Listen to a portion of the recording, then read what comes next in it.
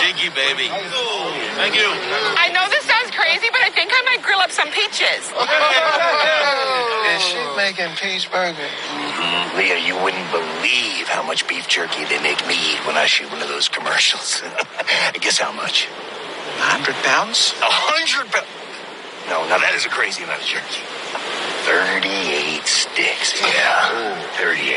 38. I once ate 38 eggs in a day. Uh, well, there ain't no money in eggs, my brother, but uh, beef jerky did pay for my Lambo.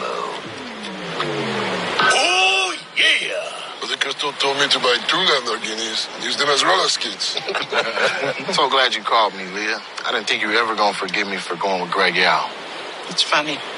I used to care about things like that. But my time in Samoa.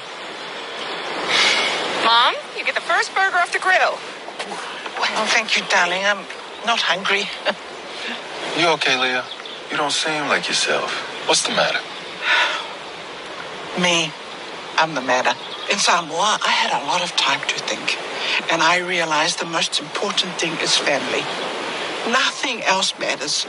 Now that I've come home, I see how I failed my family. Well, you didn't fail us. I wanted to keep Peter's dream alive. His business was our legacy, and I didn't do that. He shouldn't have left it to me. Oh, no, it's true. I mean, we live in a two bedroom apartment in Tonka, Tampa. Lia, you gave me a place to stay but I had nowhere else to go. I'll never forget that. Playing cards in your kitchen was some of the best times of my life. Auntie you loaned us money and helped us get started, remember? And I completely betrayed you. But you still found it in your heart to welcome me back to the family. When Peter was alive, I never did see the wrestling business as his. Needed you, Papa.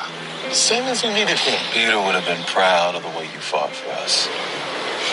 To Lia or Peter? Lia. Thank you, boys.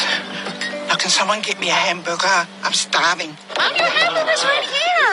Oh, right, right, right. You know, I am full on the love and the well wishes. What's the peach burger? Come on, Randy, you get in there.